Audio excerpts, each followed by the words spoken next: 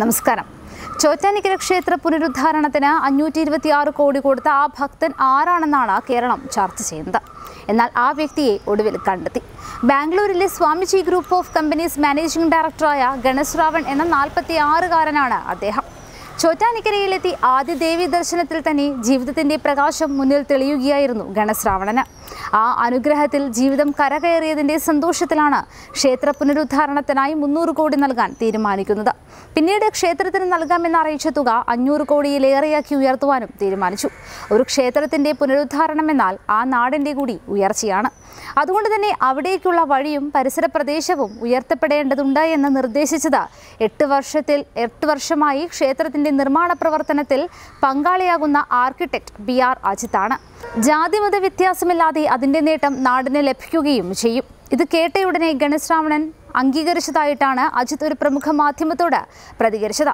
സാമ്പത്തികമായി അത്ര ഉയർന്ന നിലയിലുള്ള കുടുംബത്തിലായിരുന്നില്ല ഗണേശ് രാവണന്റേത് പൂജയും പ്രാർത്ഥനകളും തന്നെയായിരുന്നു ജീവിതം.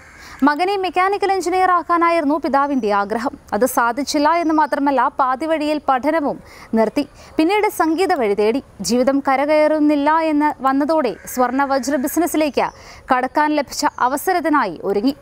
വിദേശ കയറ്റുമതിയാണ് പ്രധാന ബിസിനസ്. ഇത് രണ്ടായിരത്തി പതിനാറിലായിരുന്നു പക്ഷേ കാര്യങ്ങൾ വിചാരിച്ച രീതിയിൽ മുന്നോട്ട് പോയില്ല. ഭീമമായ സാമ്പത്തിക തകർച്ചയായിരുന്നു.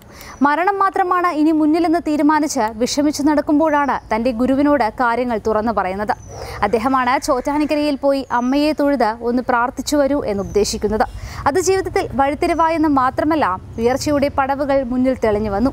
ബിസിനസ് കോടികളിൽ നിന്ന് ശതകോടികളിലേക്കും അതിന് മുകളിലേക്കും ഉയർന്നു. ഇപ്പോൾ ഇന്ത്യയിലെ ഒരു മുൻനിര വജ്രാഭരണ കയറ്റുമതി കമ്പനി ഉടമയാണ് ഗണശ്രാവൺ ഒരു വർഷത്തോളമായി ക്ഷേത്ര വികസന പദ്ധതി ദേവസ്വം അധികൃതർക്ക് മുന്നിൽ ഗണശ്രാവൺ അവതരിപ്പിച്ചിട്ട്.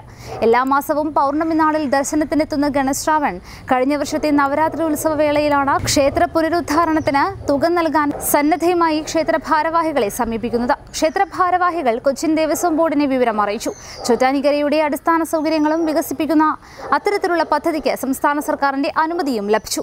ഹൈക്കോടതിയുടെ അനുമതി കൂടി വാങ്ങിയ ശേഷം നിർമ്മാണം തുടങ്ങുവാനാണ് ബോർഡിന്റെ തീരുമാനം. അഞ്ചു വർഷം കൊണ്ട് രണ്ട് ഘട്ടമായി പുനരുദ്ധാരണം പൂർത്തിയാക്കും.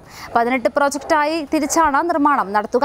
ഒന്നാം ഘട്ടത്തിൽ ശില്പചാരുതയോടെ രണ്ട് ഗോപുരങ്ങളുടെ നിർമ്മാണം ഉൾപ്പെടെ എട്ട് പദ്ധതികൾക്കായി ഇരുന്നൂറ്റി എൺപത് കോടിയുടെയും രണ്ടാം ഘട്ടത്തിൽ പത്ത് പദ്ധതികൾക്കായി ഇരുന്നൂറ്റി എഴുപത്തി ആറ് കോടിയുടെയും എസ്റ്റിമേറ്റാണ് തയ്യാറാക്കിയിരിക്കുന്നത്. ഘട്ടങ്ങളായി പണം അക്കൗണ്ടിലേക്ക് കൈമാറിക്കൊണ്ടായിരിക്കും നിർമ്മാണ പ്രവർത്തനങ്ങൾ നടക്കുക.